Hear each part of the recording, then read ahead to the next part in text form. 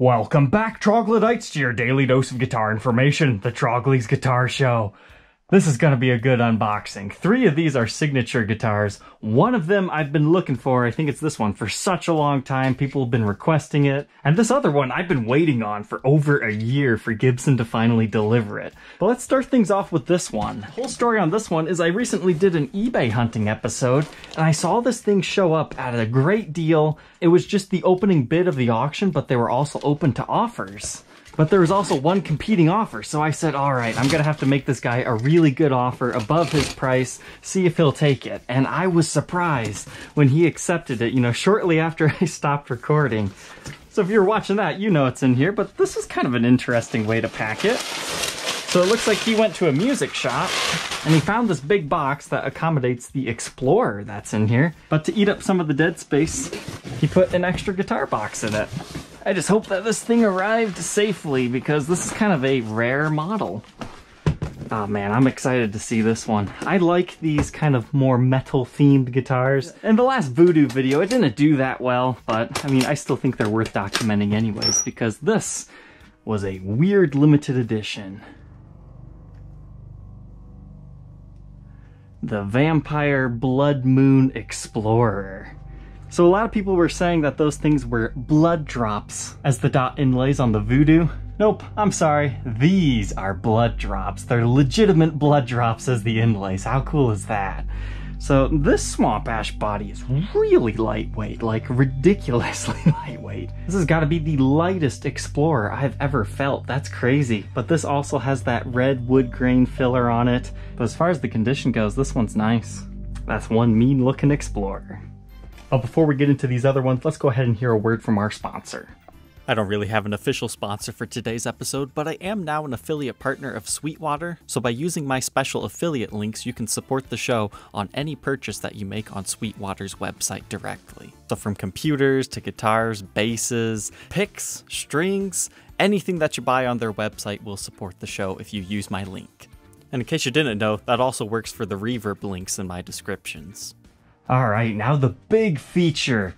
People have been asking and waiting for at least three years for me to find one of these things.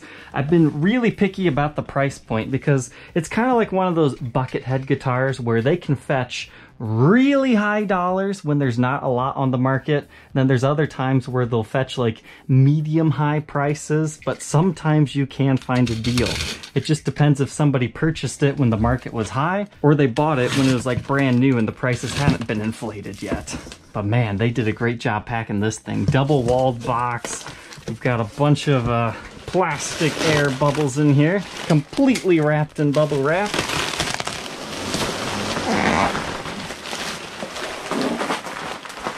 Now, judging by the shipping label, I think they actually had a UPS store professionally pack this. Sometimes you get your money's worth out of it, but other times they'll just send it in a box. So I would always suggest, you know, watching them pack it if that's an option. Because not every UPS store is created equal. But when it comes to high-end guitars like this one, you definitely want a good pack job. I think you guys can tell by the case that that's not a Les Paul case unless it's like a giant Les Paul. Uh, let's go ahead and see what I've been searching for for a review and demo for such a long time.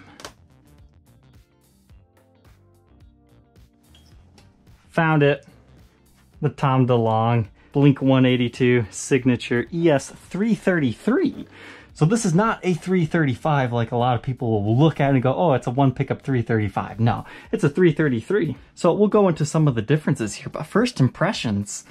Now, I kind of dig this a lot more in person than I was in photos. I mean, this is something that when I first saw it, wasn't necessarily a big fan. While I do know their stuff, it's not something that I've ever like personally followed a bunch. But there's a lot of Tom fans out there, so I will definitely be doing this as kind of a fan service to those guys. This thing is actually really clean. And I saw it show up on Reverb. It's like, yes, yes, that's the perfect price. Let's put the offer in. Let's get it in. But you're going to notice something. Huh. somebody added a tone position on this one. Normally, this guitar only comes with a volume knob, so somebody has routed one more thing in here.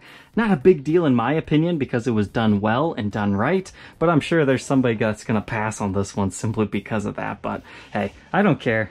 It allowed me to get this guitar that I've been hunting for for a while.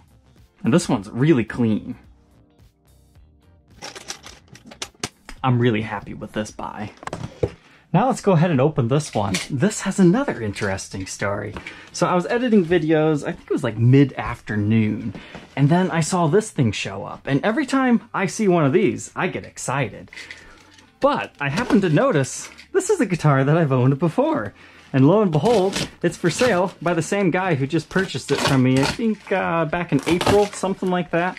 We had done a trade where I had gotten cash, and I also got that Jake E. Lee Charvel Stratocaster type thing. Now you might be curious, whatever happened to that review and demo?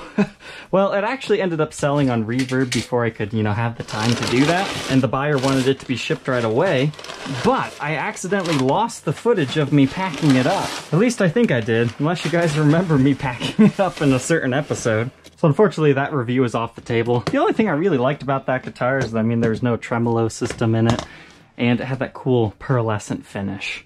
I think you guys know what this is. It's my favorite modern era Les Paul coming to say hello.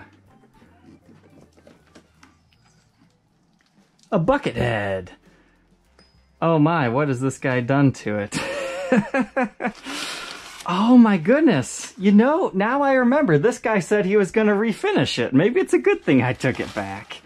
So here's all the modifications that he did to this. Interesting, that's all I've got to say. So this is that yellowed headstock one. It looks like we have new Schaller tuners. Thankfully, it doesn't look like he drilled any new holes into this, but it, he switched this all to gold hardware. And we've got Pia pickups in here. So those are Ibanez in style. And this has a completely different than regular buckethead vibe to it. Looks like we got a uh, brass switch tip, gold securing plate, but at least he left the knobs alone and he left the kill switches in place. But yeah, this is that same buckethead guitar. So the rest of the story is, unfortunately, his job has been affected recently, so he had to sell one of his more expensive guitars. Thankfully for him, he didn't refinish it, but I will likely be restoring this back to original before I put it up for sale. I even gave him the option if he wanted to switch it back uh, he could keep all this other parts. So, I mean, if you're interested in these Ibanez Pia pickups, I mean, they're pretty cool. They'll eventually come up for sale as well. But I feel complete again. I always love having one of these Buckethead signatures, even if it's been kind of crazily modified. but what are the odds of getting Buckethead and the Tom DeLonge in the same episode? So that leaves this one right here. I've been waiting a year for Gibson to release this, and uh, there's been a bunch of delays with this thing. I mean, I had pre-orders with two different dealers. They both ended up falling through for some reason, but thankfully Gibson recently reached out and they said, hey, we like what you're doing. You need access to guitars, just let us know and we can help you get them at a good price. So I kind of have a nice little relationship with Gibson with that. But you know what? I think I'm going to save this for a separate unboxing, review, and demo episode. So stay tuned for this one. So let's go ahead and pack some stuff up. First up today in our packing pile, this Spider-Man Mustang did not take any time at all to sell. It's such a cool guitar. A little bit disappointed on how many people viewed it, but thank you guys for whoever did watch it.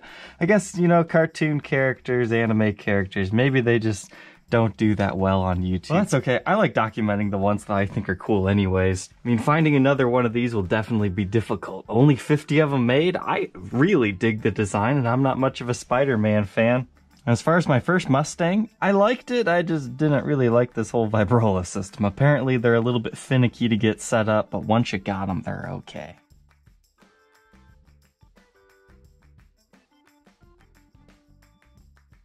Now this one actually took a little bit longer to sell than I thought it would. This is that PRS Silver Sky Nebula. What made this one particularly fantastic and special is the fact that it had that flamed neck, right?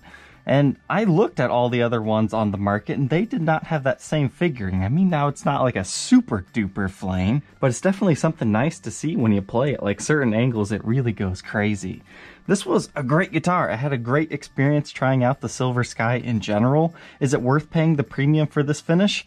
That's something only you can answer. I think as a collectible guitar, yes, it is. However, if you're just a player, you don't care about what your guitar looks like, you can certainly pick up one of these like at half the price, and that's even brand new yet.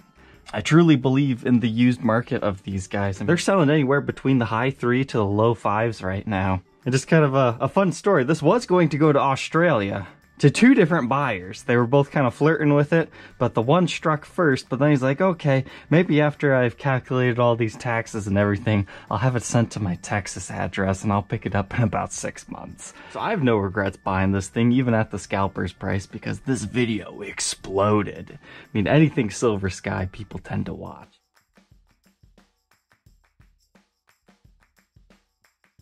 And our last one to pack up today is that Fender Lead 2. I decided to sell it. I knew as soon as I would talk about it in a video, somebody would buy it. It was for sale for about a month or two. It's kind of a cool little guitar. Fender sent this one to me for an unbiased review. And basically, it's a cool blast to the past. That's the way I feel about it. Is it my favorite guitar? No, but I love the way it looks. I mean, this is definitely a really cool display piece. You can hang it up somewhere. I mean, it looks 80s. I think it would be fun to modify one of these things. I think uh, Darrell Braun did a video like that because Fender did a similar thing with him. But let's go ahead and get it packed up and sent off to its new home. Thank you, Chocolate Ice, for tuning in to this boxing unboxing episode. I hope you enjoyed it. Don't forget to like, comment, and subscribe. Check out those links in the description, and we will see you tomorrow on the next episode. Take care.